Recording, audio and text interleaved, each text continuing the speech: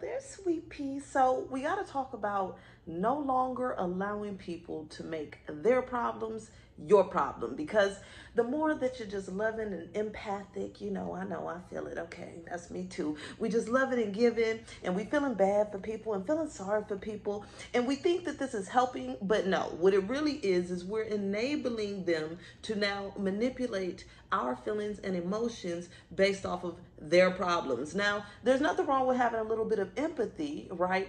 But you gotta uh, make sure your empathy is in the right place. So I'm gonna tell you about my little toxic relationship story, okay? Because I'm gonna be telling a lot of toxic relationship stories. So my ex-husband, I tell you, he had me in a a lock, okay? He had me in a chokehold for a whole decade. I say a whole decade. I wasn't allowed to have no friends, okay? I was not allowed to even barely hang out with my kids, my own family. I wasn't allowed to talk on the phone. I wasn't allowed to eat certain things, wear certain things, do anything that I wanted to do ultimately. Now, mind you, I dealt with this for a whole decade, okay? A whole decade. I missed out on so many experiences, so much happiness, I was, you know, stalked and, and treated like trash. I had a tracker on my phone. I couldn't do nothing. And it was just ridiculous. And you know why?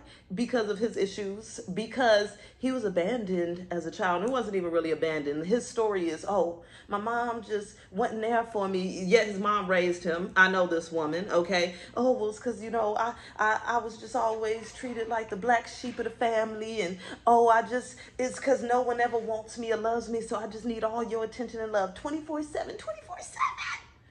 And it's like, okay, so I let this person now ruin my life for a whole decade. Didn't build healthy relationships, didn't go down the career path that I want, was extremely overweight, miserable, not happy. And all of this because of what? Their childhood abandonment issues. That has nothing to do with me at the end of the day. And so I want you guys to really see here where you can allow someone else's hurt, pain, problems, even if it's just perceived to affect you, to ruin your life, to hold you back from being the star that you are. So when people come in with a sob story, it's okay to have a little empathy. It's okay to support. I hope you make it through it, brother, sister. I hope you, I, I'm praying for you, okay?